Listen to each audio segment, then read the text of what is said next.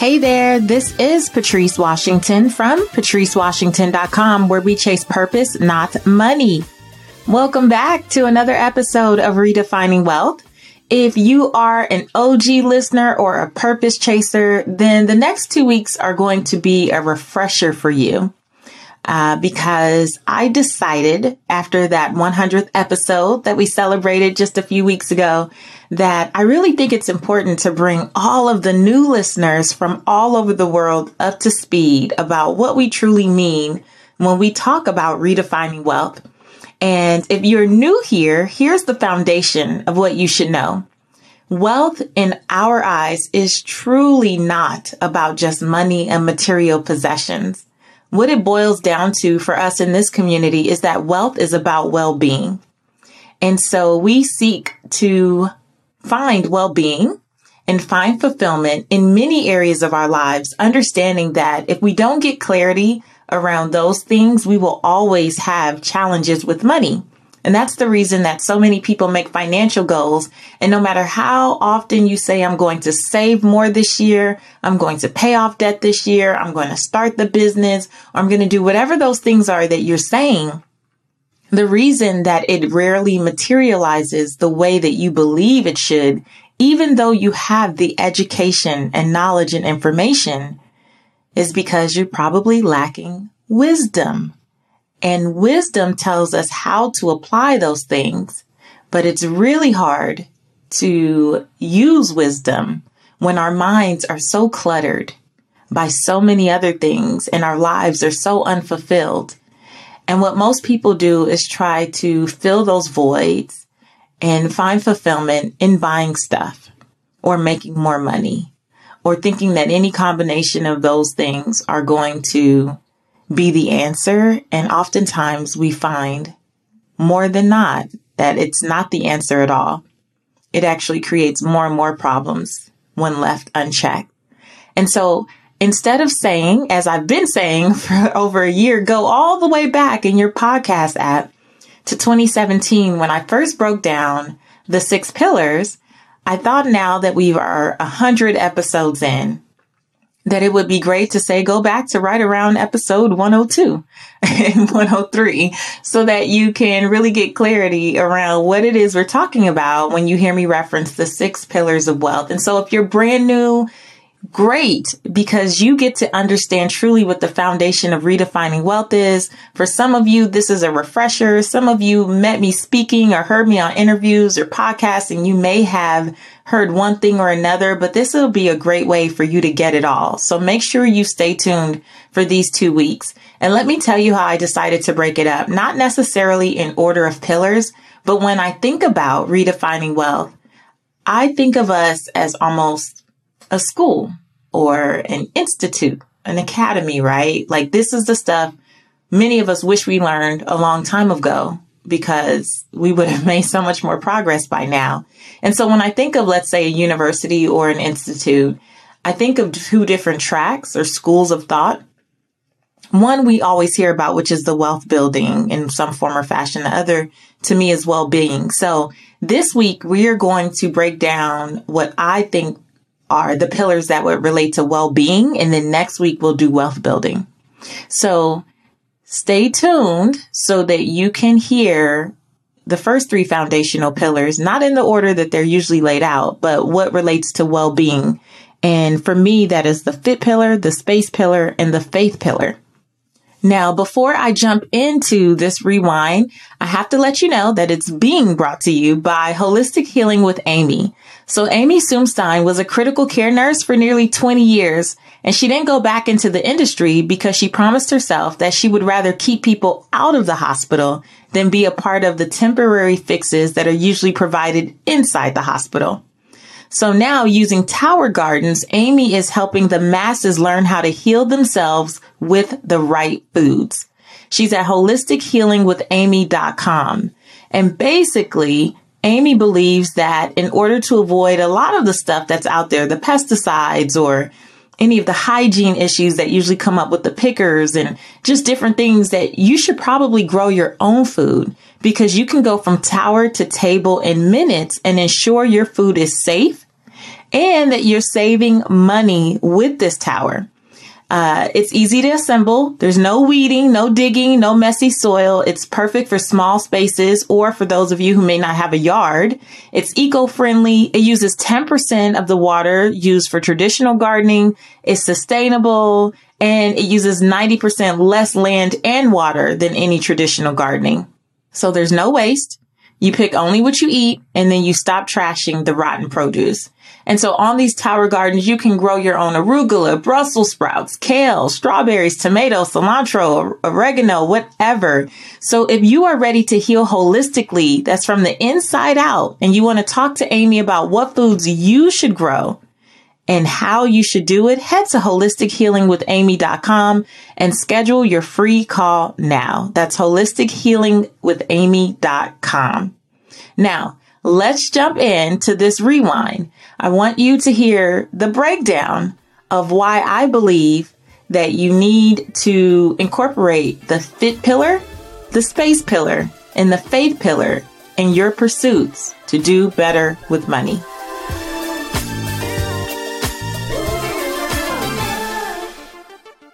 I know that as soon as you heard me say fit, someone got an attitude. you think that fit is all about going to the gym and that it is a piece of that, but it's such a small piece because here's the bigger picture really. I truly believe that your health is your wealth, right? And I am not out here as much as I do everything that I do because I feel called to do it. I'm also very much running a business, just like you probably are, because I tend to attract a lot of entrepreneurs. And if you're not, you're going to work to get money, right? You're going to that corporate job or wherever you go, the nonprofit sector, government sector, wherever you are going to get money. But are you going to get money so that you can spend it on prescriptions that you can't pronounce?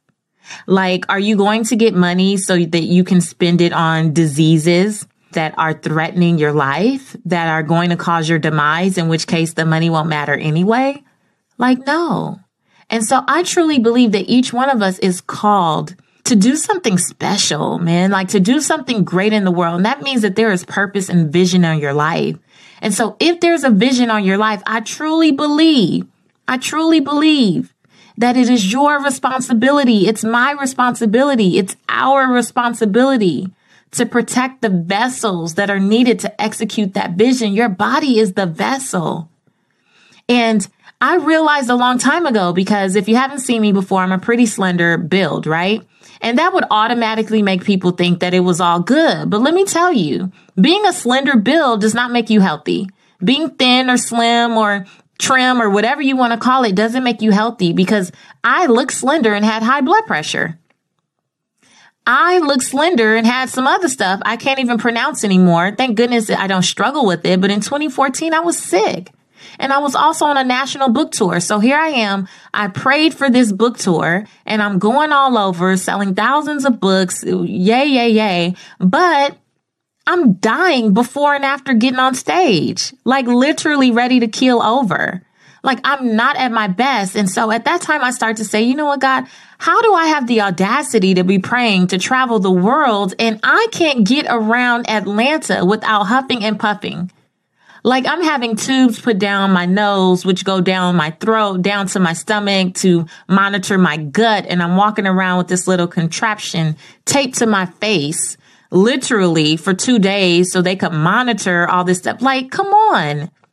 And as an African American woman, what really alarms me is how many of us in particular are dying from diseases that are preventable. I mean, the United States in general, our food system is crap to be real. But so there's no matter what background you come from, there's an issue. But particularly in African American households, oh my gosh, seriously? And then a lot of us are not going to the doctor, the proper doctor. You have one general doctor, but you got all these other issues and you should be seeing a specialist, but you don't know. And come on, you guys, seriously.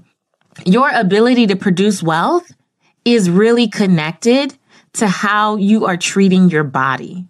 I stand up at book signings for two, three hours straight. If you've ever been to my book signing, you can attest to this. I'm not lying. I talk to every single person. I stand there in high heels and I lock eyes and I take pictures because if you ever come and see me, I will not dishonor you by sitting down. I have to be sick to sit down. And I'm not knocking authors that play that route, but I am literally so honored and grateful that people would take their time to come and see me in person that your picture is going to be the bomb. If we have to take 10, it is what it is. You are going to tell me whatever story you came all the way here to tell me. You're going to share whatever aha moment. I want to hear it all because it's encouraging to me. It's that thing that keeps me going as well, you know? But you have to be physically fit to do that. So I'm like, how can I be asking God to put me in front of more people, but I have to sit at a 30 person book signing? No, negative, negative, right? So I want you to think about your own life. Are you physically capable? Are you being intentional with what you put in your body? With how you treat your body? Are you being intentional so that you can actually see this thing to the end? So that when you hit those goals and when you see this vision come to fruition, are you going to be able to walk in it, live in it, breathe in it, taste it, smell it, enjoy it? Or are you going to be in a hospital somewhere? That's a real question. And then beyond the physical fitness, here's another thing that's really important in this fit category. It's your mental fitness. Because again, I feel like a lot of us are praying for things that we don't have the mental capacity to sustain. You want more, you want to do more, you want to have more, you want to be more. But then there are things that are really challenging you. I know for me, I was dealing with a lot of childhood trauma and I would say I wanted one thing, but then that something from that childhood would kick up, whether it was feelings of unworthiness, feelings that I wasn't lovable. I had abandonment issues. You know, I got daddy issues. like I have all these freaking issues. My mom works so much and bless her heart because she's a single mom and I'm from Belize and my mom was very big on taking care of my grandma and, you know, her family members back in Belize. And so my mom was just busy all the time. And as much as I knew that she was working and doing all this stuff, you know, as we, as a parent now, I say, I'm doing this for you. I still felt abandoned. I still felt unloved. It just is what it is. It's not a right or a wrong. It just is. And I needed to go to therapy to deal with my childhood trauma. And I'm convinced that I, had I not gone to therapy, I would not be America's money maven. Like I could not be a best selling author. I cannot just sit here in my home studio and even share this with you. I had to get through that stuff. I had to learn techniques and tools and strategies to cope and to heal and to forgive people who will never say I'm sorry. Right? And maybe you've heard me share this in social media, maybe not. But I could not look at myself in the mirror until I was 25 years old without cringing. Literally. People always say that, like, people who knew me from middle school, high school, college, they're like, I would have no idea that you had such low self esteem. I really did. I mean, we all wear a mask, right? I was great at covering it up. I knew I was smart. I knew I knew how to make money. I knew I had personality. So I just felt like, you know, all those things could work together and maybe take attention off of what I look like.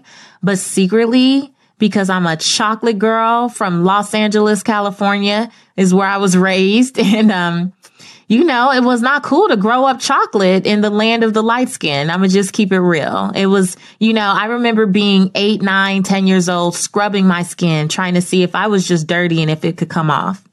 I literally just wanted to scrape my skin off and hope that something lighter was underneath. Like I have very full lips. I have, uh, you know, kind of a broad nose, not super broad, but I had someone in my family call me thick lip. And that was the first time I realized I had full lips. Before that, I, you know, you don't know. You just, you're just you, right? And you tell a kid that at like seven, eight years old. So now I'm like tucking my lips in and I'm tall. I'm 5'10 and so when I put heels on, I'm a smooth six one. And people would be like, Oh, you're too tall. You're taller than the boy. So then I start slouching. And then I was super thin, but I had this athletic build. So I had big, big thighs. And, you know, someone in my family called me thunder thighs. And that, I mean, I could not catch a break, you guys, seriously, could not catch a break to save my life. And I had no one there being intentional about saying, like my husband and I do now to my daughter, you're beautiful. You're good, but you're going to be great. Like you have no idea. Oh my gosh. My daughter, I'm like, look at your athletic build. God built you as a goddess. I am so intentional my daughter has no issues. She's mini money maven. She's 10 years old. No issues with self esteem, but I was a wreck. And then you add not really having boobs for a long time. I'm telling you, not cool at all. And I remember my husband when I was 22. I went on a trip with one of my best girlfriends and went to Spain and Italy. I was gone 21 days and I had just gotten this apartment in Westchester, which is near LAX. And I came back and he was so excited. I got the apartment and I left. I didn't really have time to decorate or put anything up. I just got it and I left. When I got back, this man, which is why I kept him around, had gotten furniture and totally redid the furniture. Couldn't get anything expensive, right? But like he reupholstered the furniture, painted things. It was beautiful. Put my clothes up. I'm talking like real man ladies, okay? And then I was so in awe of all of that. But then I saw these huge pictures of me blown up and framed all around the place, all around the living room. And I ran out. I ran out of the apartment crying. I'm talking boohoo bawling. And he came after me like, Oh my gosh, what's wrong? What don't you like? And I knew that he loved me already at that point. Like I knew that we were in a good place and he wasn't a mean spirited person or a cruel person. But because I felt so little about my appearance, like I was just so low in the self esteem department when it came to my looks and I had never looked at myself. I hated every picture. I didn't look at myself. I wasn't big on that at all. So when I saw the pictures blown up, it was like he was playing a cruel joke. And I know that seems totally irrational, but let me tell you, by that point, 22 years of being kind of, or I, I really started when I was about six. So let's say 16 years of being told that you're ugly. The last thing that you want to see is a blown up picture of yourself and multiple ones. And it was my husband that started to help me see myself in a different way. One time he looked in the mirror with me. I don't even know if he remembers this, but he looked in the mirror with me in this apartment and he's like, Are you kidding? Like, do you see what I see? Like your eyes, your almond shaped eyes and your lips are beautiful and your cheekbones. And I really had to borrow his faith for a period and I would affirm just different things about myself um, in the mirror. And it took some years, but that's why I tell you guys, I was 25. It took years. I was 25 before I could look in the mirror and not cringe. And then I went to therapy.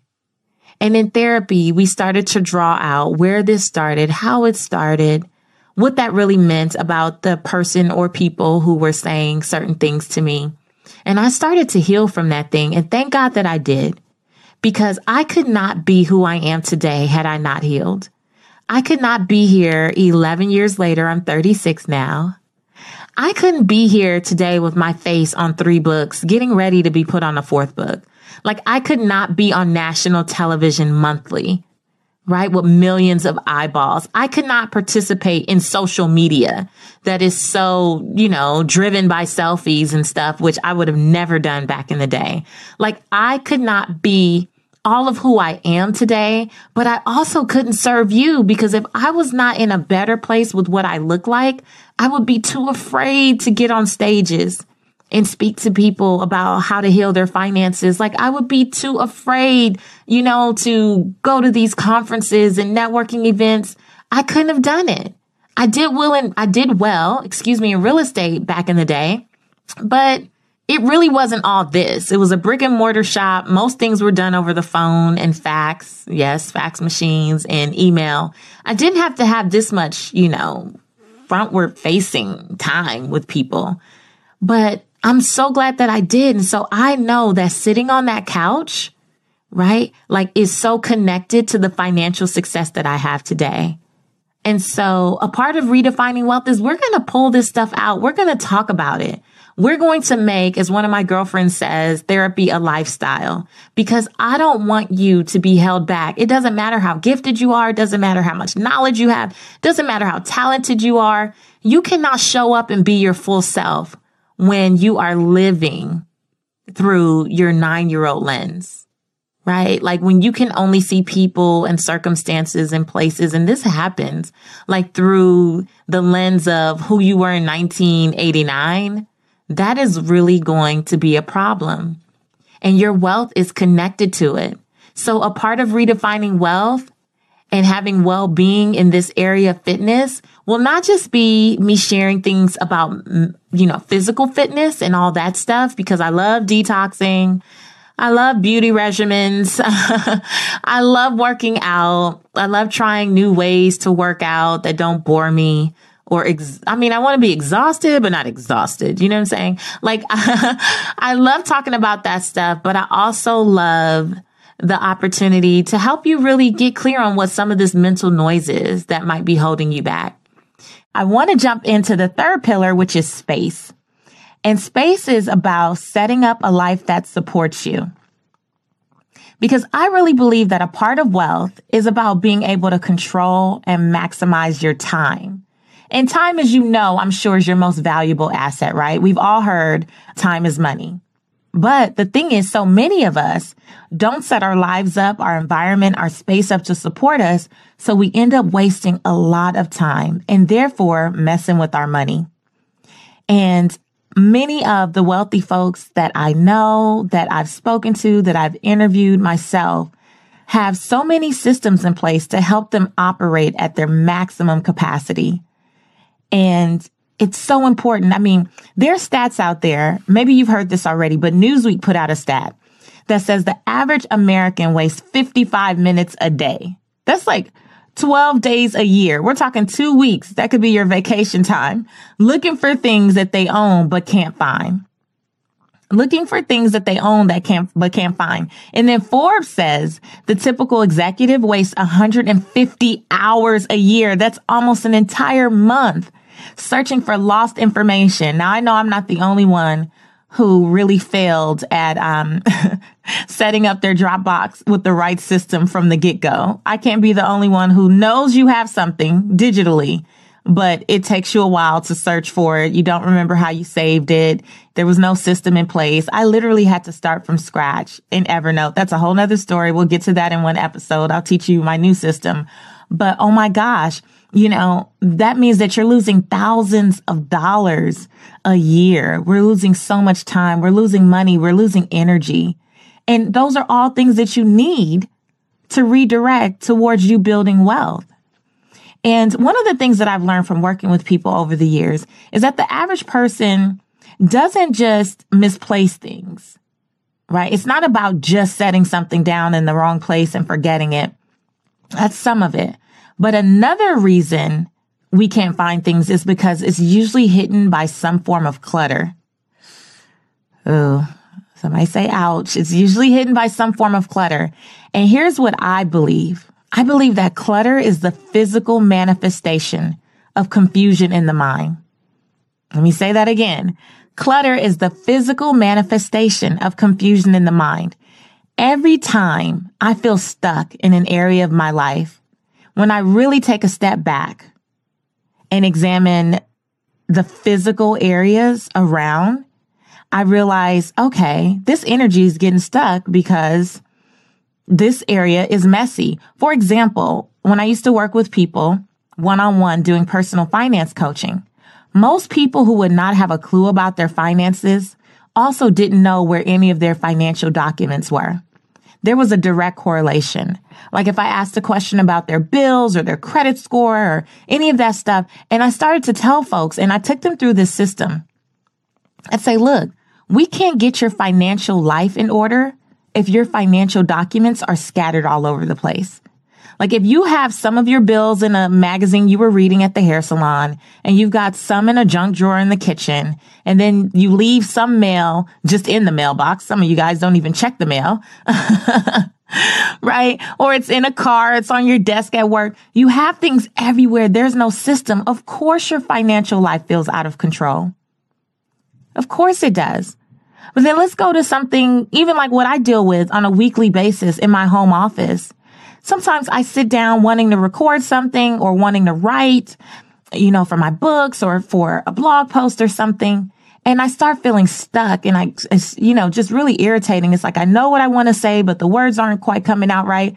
And then I take a look around and guess what I usually find? A little pile somewhere that I haven't dealt with. I travel a lot, so there might be all the mail that everyone thinks that I'm the only person in the family that likes to open mail or something. So there's a pile of mail, junk mail included. There's stuff around. There's things that I used to travel with that hasn't, they haven't been put back up yet. And so as soon as I start to clear that, the flow comes back. Because when you look at this little, these little piles of clutter, for me, they're little piles. For you, it could be an entire garage. It could be a storage unit. It could be your closets. It could be all that stuff that you have piled up on your kitchen counter. But the truth is that energy and creativity gets stuck. There's things that get stuck. There's no flow and money is currency. So every time you feel yourself being stuck, you got to go, where's the clutter? Right? Like where is the energy that I normally would have to put into this task or that I want to have to put into getting my finances in order. I really have to look around and I can't tell you. I was on a speaking tour, Steve Harvey's Act Like a Success Experience speaking tour this summer. And I was sharing this on the stage. We did four cities, Dallas, LA, Chicago, and DC. Every city I left, I ended up having someone say, I went home and cleaned up my office or I cleaned out my closet or I cleaned out my car. And every one of those people had a success story about how they had this divine download of information or an opportunity came to them or they found money. they found checks in the envelopes that they had been avoiding because they thought they were only bills in the mail. Like there is so much that comes out of this. Your wealth is connected to you getting rid of the clutter so that you have the freedom to create. So you have the freedom to think. So you have the freedom to manifest whatever it is that you need in your life, in your business, whatever. And when the environment is out of whack, that energy just gets stuck. There's no flow. Right. And so there's different ways that we can talk about setting up your life to support you. And we're going to do that in this podcast. That's one of the pillars. And those are some of the topics we'll cover organization for different areas of your life, whether that be digitally or physically. You know, we'll talk about beautification. I really believe that there's a link to you really enjoying and loving the space that you're in. You know, when I lost everything and I went from the 6,000 square foot home to a 600 square foot box, I call it in Metairie, Louisiana, my daughter was a baby and I remember finding a Target gift card from her baby shower. And we didn't really have much money. We were getting eviction notices, water cutoff notices, electricity cutoff notices. I mean, when I tell you this was a bad time in my life, it was a bad time.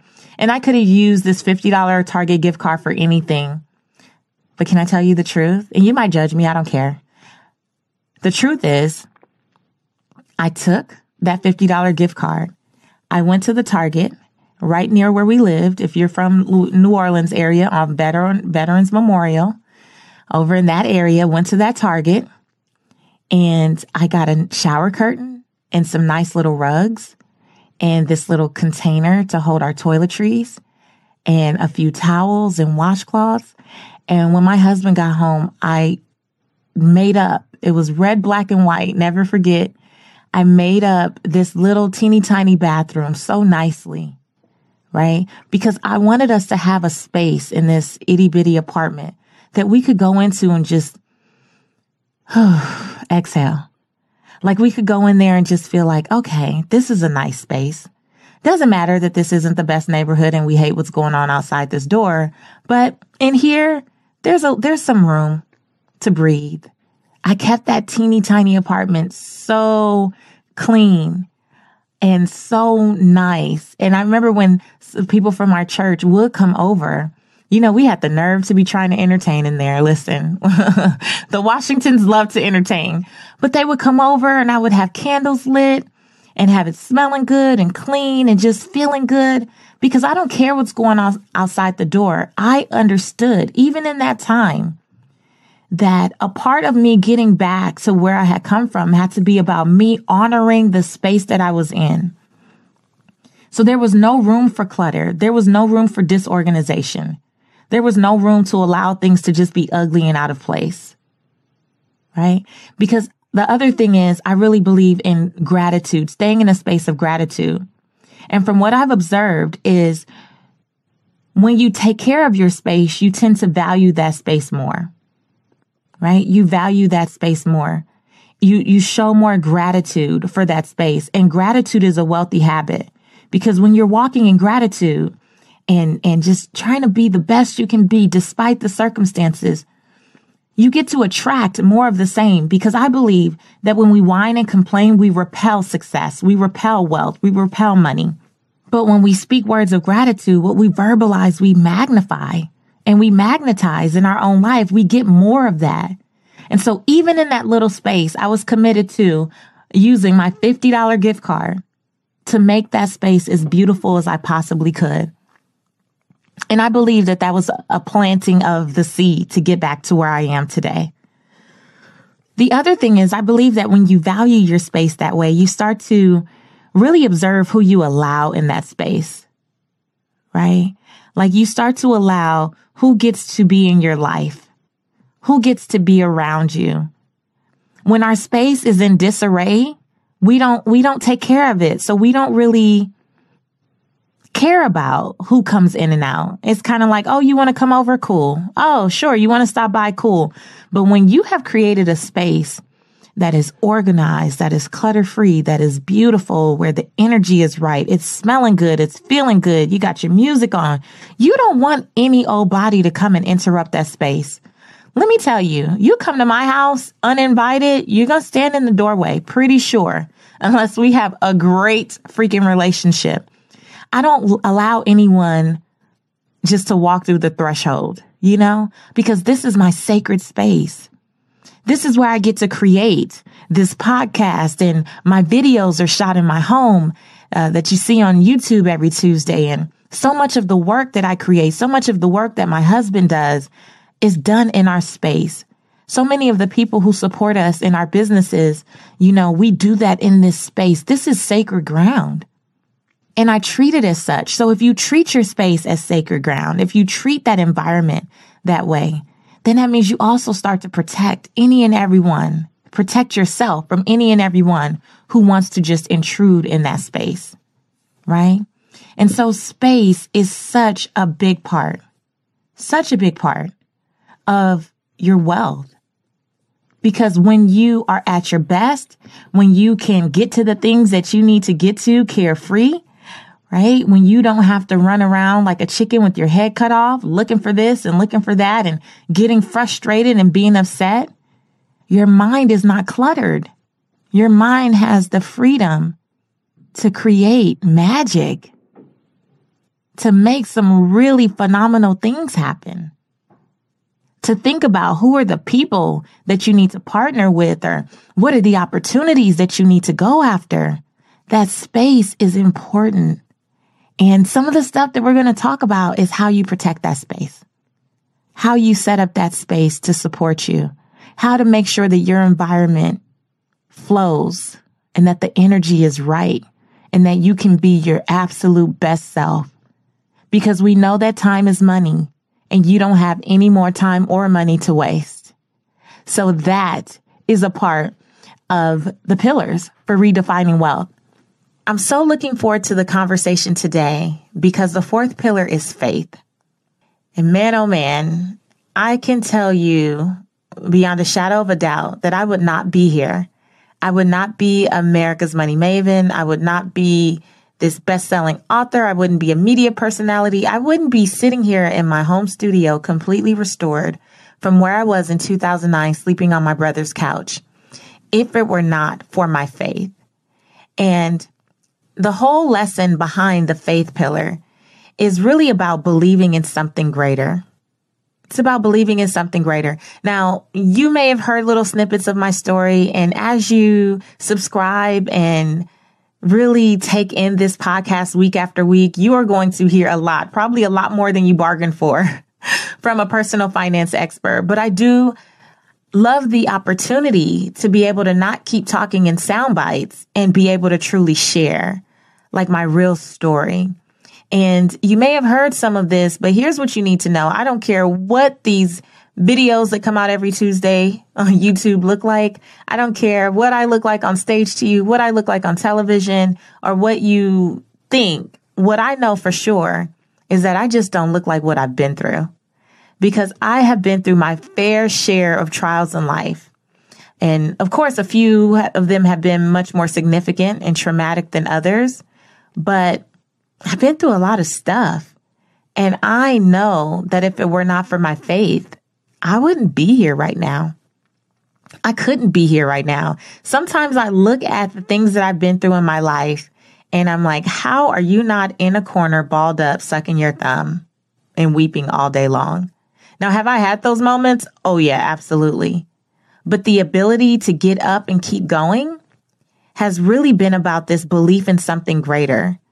It has been me always coming back to this feeling that, you know what? This is not even about you. There is something bigger at work here. And a lot of times, what I've realized as I get on the other side of some of life's trials is that, you know what? That didn't even happen to me. That happened for me because most of the greatest lessons that I've ever learned, if not all of the greatest lessons that I've learned, have come from some type of challenge, some type of trial or tribulation, some type of failure. And I love Winston Churchill's quote, which is success is going from failure to failure without loss of enthusiasm. And the only place that I've learned to grasp that enthusiasm is in my faith in really believing that there is something greater on my life. Like when I'm going through a challenge, I'm the first to say, honey, I must be getting a blessing in these next few days. There is a blessing somewhere with my name on it, right? Because it's all about how we choose to frame things. And um, a couple years ago, I, I was getting this award called the Claire Huxtable Award um, from an organization out in Atlanta. And they did this icebreaker that I was watching um, the day before during the conference. And they wanted you to go around and meet people and start with, you wouldn't know by looking at me, but. And your job was to fill in the blank and essentially be vulnerable in a sense with like complete strangers. And it really got me to thinking about all the things that people say to me and the messages. And I get the, you know, people would say, you know, you don't know what it's like to fill in the blank. And I'm like, I don't know what it's like. What gives you the impression that I don't know what it's like? Because, you know, you never can judge a book by its cover, right? Which is why that people pillar that I talked about last time was so important because you just never know who people are, who they're connected to directly and indirectly, like what their true passion is, or, you know, just, you just don't know. And I accepted that award by sharing some stuff that people just didn't know from seeing me in social media. You don't know from my four minutes of sound bites on television or a three to four minute radio segment every week. Like there's a lot that you don't know and you don't see. And the award was for being a mother, wife, and professional woman who was balancing it all with style and grace. And I started to share and one of the things that I shared was you wouldn't know by looking at me that 11 years ago, now it's 11 years, whatever it was at the time, but you wouldn't know by looking at me that before my daughter was born, I gave birth to a one pound, six ounce baby boy who lived for less than five hours. And he literally took his last breath in my arms, holding my right index finger in his tiny hands. So when women in particular talk about their struggles with miscarriages or any type of infertility issues or just difficult pregnancies, fibroids, whatever, I, I identify with that. And that's why I look at my daughter every day as a miracle. But I know what it's like. I even know what it's like at this point. I want to do a whole episode dedicated to secondary infertility. Like that's a whole nother issue that people don't really talk about, but it's a challenge that I'm even experiencing. And I'm not even, I, I, wasn't anticipating saying that in this episode right now, but it's something that I think that we should talk about because people can sometimes be insensitive, right? But I also haven't let those experiences hold me back from doing so many of the things that I know I was called to do. Or being a testimony to people outside of being America's Money Maven, being a testimony to other women, to other mothers, to daughters, to sisters, to whatever, right? You know, I also shared during that speech, I said, you wouldn't know by looking at me or by looking at pictures of my husband and my family and I in our matching clothes on Instagram that people love to tag with hashtag relationship goals that this marriage to my husband, which has been almost 10 years now, has truly been the ultimate test of my faith. And if you are married, you already know what I'm saying, right? Like when you get married, you are looking at all the upsides of the vows, right? You're looking at the for better, not so much the worse. You're looking at the in health, not so much the sickness. You're looking at the richer, not so much the poor. And in 10 years, my husband and I have gone through all of that, right? We've gone through losing it all, being broke, living apart to save money and scrape up change to get back on our feet. We've been through medical difficulties. We've been through some things that have literally threatened the very destiny of our family, our family's legacy. And yet still we're here. Still we stand and actually now stand stronger than we've ever been. And that I'm convinced that the people that you marry are so connected uh, to your financial success. I think that's obvious for more than one reason. But that's a conversation that you have to have when it comes to your wealth, right? And through it all, I know that the only reason I've been able to push through and persevere is because of my faith.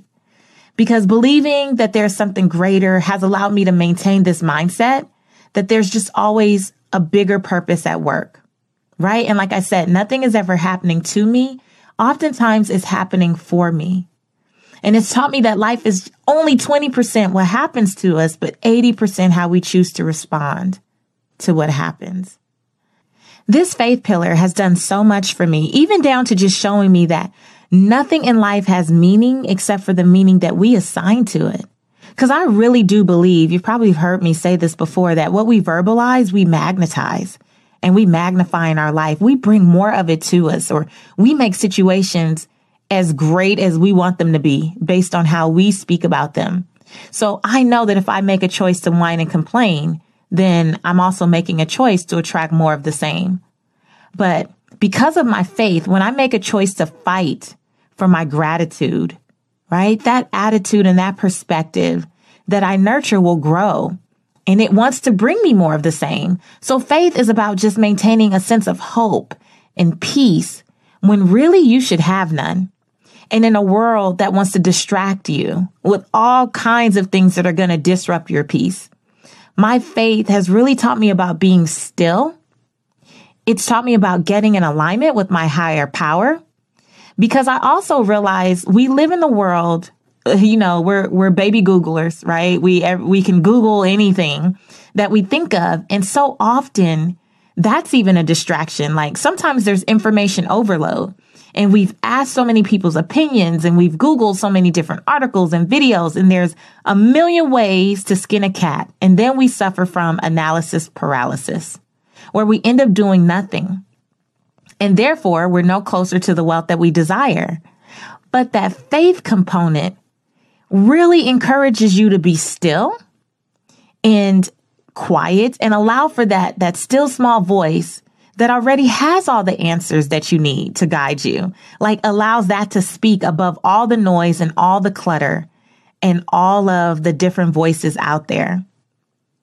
I really think that my faith is the number one reason that I don't chase money. You know, this whole concept, if you look at patricewashington.com, it's all about chasing purpose, not money. But when you're not in alignment with anything greater, it's really hard to see a life that doesn't require chasing money.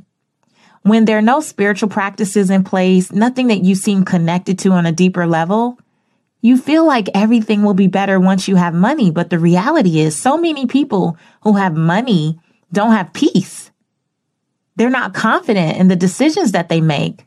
They're not using wisdom and discernment and who they align themselves with and what relationships they take on and where they should go and what partnerships they should have in business. And a lot of it comes down to this urge to chase money. But your faith should really help you be grounded in the fact that you know most things are a resource, but you are getting divine revelation and guidance and inspiration from the source. And when you know what the source is and how that shows up in your life, chasing money just doesn't become an option anymore because you know who you are. You know who you're being. You know how you show up. And because of that, you can attract the lucrative opportunities. You can attract divine connections. You can attract so many things that will carry you effortlessly into your destiny and your prosperity. And so this faith pillar is huge. It is such a big piece of redefining wealth. It's such a big piece of you getting to the prosperity you desire the answers are just not outside of you. So many of the answers are inside. And so what we're going to explore are what are some of the practices? What are some of the rituals? What are some of the ways of beings and habits that you can incorporate so that you can really tap into this? Because I guarantee you when you tap into that, whoo, there's so much financial success on the other side. Because what it does is create a sense of fulfillment. And we'll talk about that too. I have a great video on YouTube about fulfillment, how to find fulfillment. We'll talk about how you can actually quench that thirst that's inside that's always looking for the new new, always looking for the next, the bigger, the brighter, the shinier. But instead of that, instead of chasing shiny objects and trying to compete with folks that we have no business competing with, we can really tap into what speaks to us, what honors us, what honors our authentic self just who we were created to be in this world and allow that to guide us to what it is that's going to create the wealth that we want.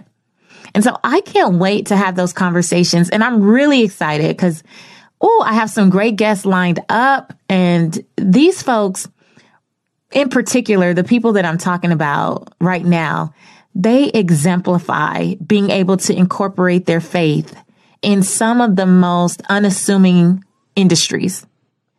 I have some folks from Hollywood in particular. And if you know anything about the entertainment industry, it's a beast. Like you have to be a special soul to work in entertainment or it will rob your soul. Like real talk. But when you are in true alignment with your faith and you come with those convictions and just know who you are, what you're going to do, what you will not compromise in your life. Like there is such beauty in that. And so a few of the first interviews that you get to experience here on the Redefining Wealth podcast are going to be from some people who have truly taken this pillar and just run with it. And I cannot wait to share these stories. Again, I'm going to be sharing the stories of athletes, entertainers, executives, entrepreneurs, just some really high level folks who understand that this pillar right here in particular, all of the pillars are important. Trust me, they all have their place. They're like a perfect little puzzle on this journey to creating wealth. But this faith pillar is going to be a game changer, I think, for a lot of you. And when you hear oh, these nuggets of just inspiration and how people have defied the odds in a lot of different arenas, my prayer is that it'll really be the game changer, right? It'll totally shift how you think about your faith and how you utilize your faith. Not just to get you to the wealth, but understanding that it is definitely a key component.